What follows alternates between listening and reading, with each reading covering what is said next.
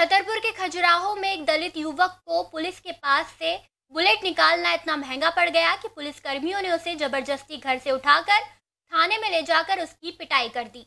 खजुराहो की नगर परिषद में सफ़ाई का काम करने वाले रोहित को पुलिस की गाड़ी के पास से अपनी बुलेट निकालना इतना भारी पड़ गया कि शर्मिंदगी में उसने आत्महत्या करने की कोशिश की।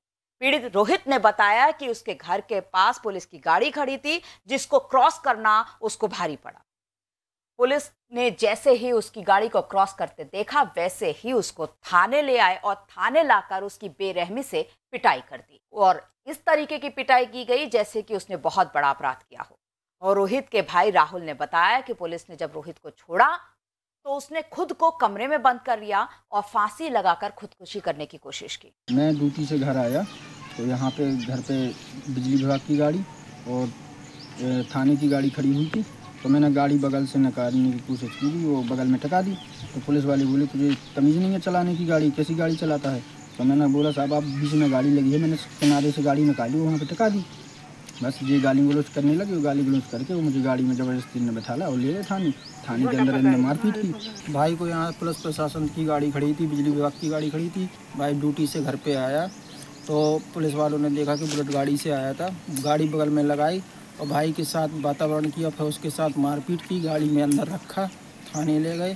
थाने में मारपीट की, गाली गुलच की, टॉर्चर किया और टॉर्चर करने के बाद केस लगा रहे थे इकट्ठा का।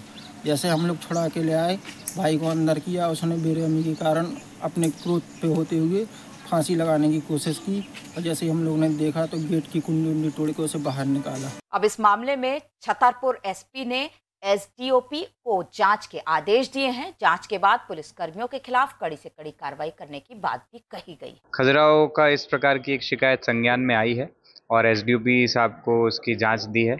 और उसमें आवेदक और सभी के कथन भी हो रहे हैं और प्रथम दृष्टिया उसमें दो लोगों को जो लग रहा है कि जिनकी गलती हो सकती है उन पर उनको आ, उन पर भी कार्रवाई की जाएगी लेकिन पूर्ण जाँच होने के बाद ही उसमें सख्त से सख्त कार्रवाई की जाएगी।